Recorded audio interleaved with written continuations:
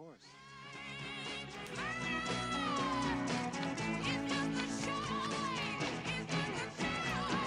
Took me about a week of sneaking around before I could unload the Pittsburgh stuff, but when I did, it was a real score.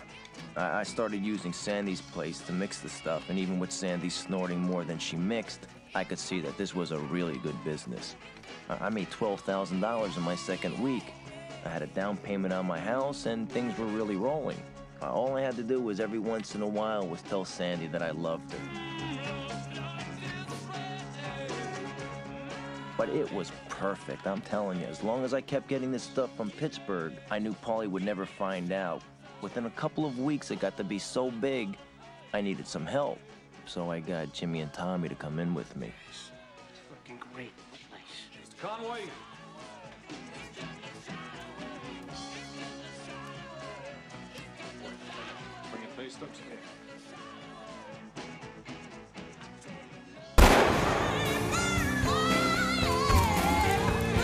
A casino boss and his wife were killed. The Bulls questioned Nicky. A dealer from the Sirocco, they questioned Nicky. A bunch of stool pigeons wound up in the trunks of their cars, they questioned Nicky. A lawyer. They questioned Nicky. And when some guys who didn't pay their Shylocks began disappearing, Nicky's name was in every one of those newspapers. Nicky was questioned in two dozen murders, but they always had to let him go. There were never any witnesses. The coppers blame me for everything that went wrong out here. And I mean every little fucking thing, too. Watch yourself. You get run over there. If a guy fucking tripped over a fucking banana peel, they'd bring me in for it. Come on, that's enough. Be nice, huh? Be nice. And the bosses were no better. I mean, they complained day and night because things don't run smooth. Well, in my line of work, things don't run so smooth. I'm sorry. I mean, I'm dealing with degenerate animals out here. But the bosses, what do they give a fuck? They're sitting on their asses drinking anisette. Meanwhile, I'm the guy in the trenches. Fucking bosses. They think it's a fucking free lunch out here. It's a funny thing. I, I'm a, it put hate in your heart. The Knights of Columbus were real headbreakers, true guineas. They took over their piece of the city. Twenty years after an Irishman couldn't get a fucking job, we had the presidency. May rest in peace. That's what the niggers don't realize. If I got one thing against the black chappies, it's this. No one gives it to you. You have to take it.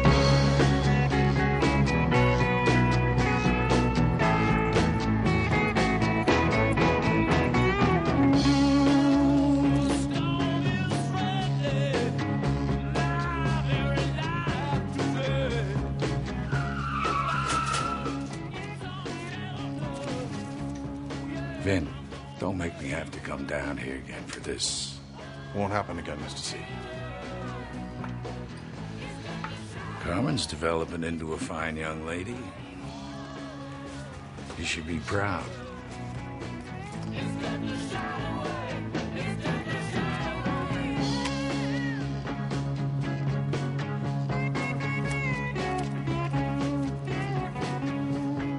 You get your period yet, Carmen?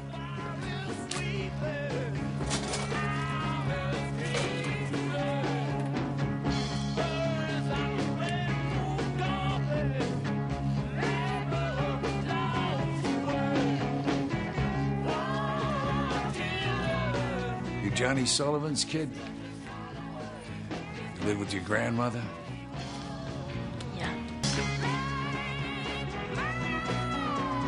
To you, O Lord, we commend the soul of Alphonsus, your servant. In the sight of this world, he is now dead. Forgive whatever sins he committed through human weakness. Amen.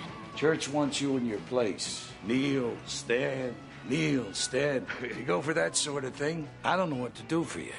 A man makes his own way. No one gives it to you. You have to take it. Non serviam. James Joyce. Smart, Colin. Guineas from the north end down Providence try to tell me what to do. And uh, something maybe happened to him. Uh, maybe, uh, like that.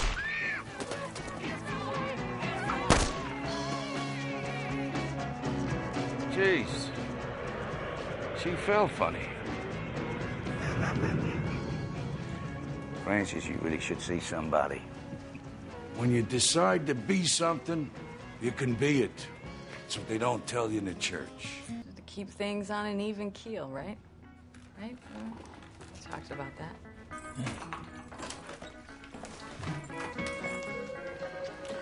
Morning. Good morning. Want a French donut? Yeah. Hey, can I look it? Yeah. Sure. All right, we're not having this out. What? Hey, you don't see any pictures of where I came from. Look, I respect who you are. Just, you know, not in the living room. We might have company. Company? Yeah, company. Hey, now why do you work for the state? Why not? You do. No, what you do, the degrees and all, everything you got, you're hot shit. Yeah. so why do you make as much as a guidance counselor? Because I believe in public service. So now you're gonna fuck with me? now you're gonna be ridiculous, huh? huh? No, don't start with me. Don't Hey. say.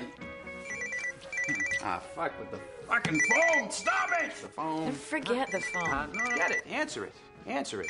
This is this is your first phone call in the new house. You live here now. You're a resident. Mayor Sullivan's office. We'll call her on the phone right now. Oh my god. I'm sorry. What? I think it's a guy with, uh, it's like a, can- a cancer guy. Hello. What the fuck is it with you and your phone, huh? Um, something for work. Hey, um, nothing, nothing, nothing. It went dead. I don't know. I, I guess. Was that that shrink cunt that answered the phone? Remember, I told you that you know, we were gonna. She was gonna move in. Yeah. You- She moved in. You better get organized, quick.